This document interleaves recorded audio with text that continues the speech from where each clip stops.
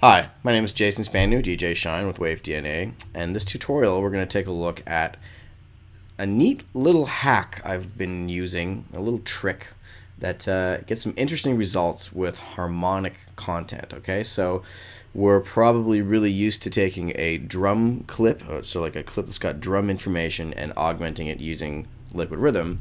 And uh, I've sort of uh, stumbled across this workflow, and it's sort of really been changing the way I work a lot. So I'm going to do the same sort of stuff with harmonic content that I'm used to doing with uh, a drum clip. Okay, so first of all, I'm a, I've got a track here, and in that track, got a synthesizer, so we're ready to go.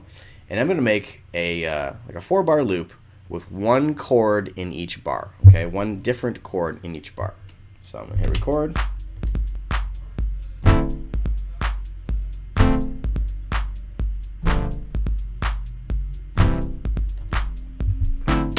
There we go. It's important to do it with one chord per bar because if I add another chord, you'll see they'll start overlapping in weird ways when I do what I'm about to do. So now we're looking at that clip. I'm going to flip into Liquid Rhythm and I'm going to fold the notes. So I'm only looking at the notes that are being used in that clip.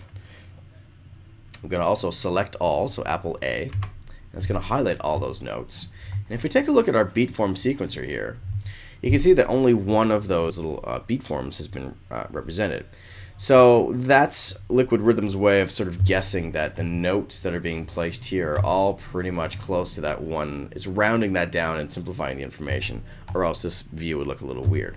What I'm going to do is I'm going to start turning on some of these other nodes here. If I turn that on, watch what happens. All of a sudden, I've complexified my sequence, and I'm going to do it again and maybe throw that one in. Now let's take a listen to what that sounds like now.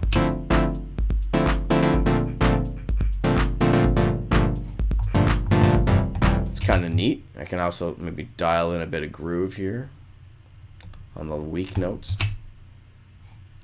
There we go.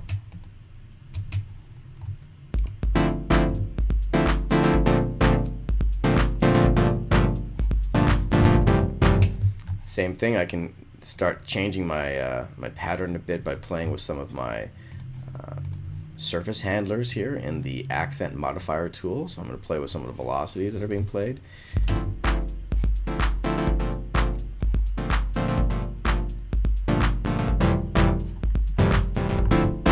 And again, if I really want to get weird and stupid, I can start shuffling around the color beds, so underlying color shades, and that's going to redistribute those notes of how they sit and how they were comparatively sitting previously. Change the colors again.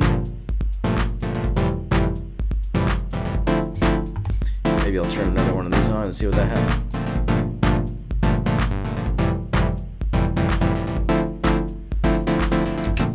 So that's pretty cool. Uh, I could get really freaky and hit the randomizer object and start playing around with those and seeing what kind of information happens. Mm, maybe I hit it a couple more times. Maybe instead of playing with the bar forms, I'll turn those off and just leave beat forms on. Play around with collaborate and velocity as well. When collaborate's on, it's going to distribute the notes using a couple different rules. So I'm going to say collaborate on codons as well a reverse sawtooth.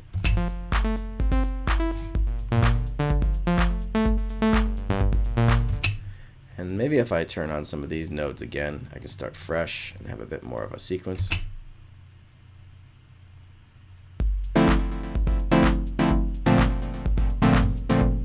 Play around with some of the velocity surface handlers again here.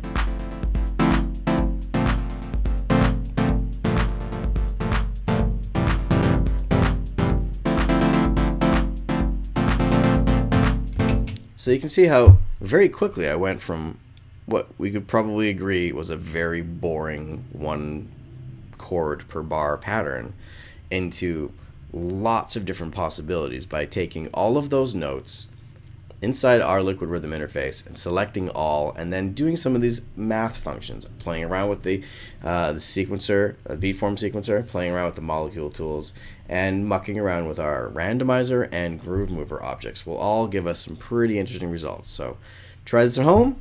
Any questions? Watch the video again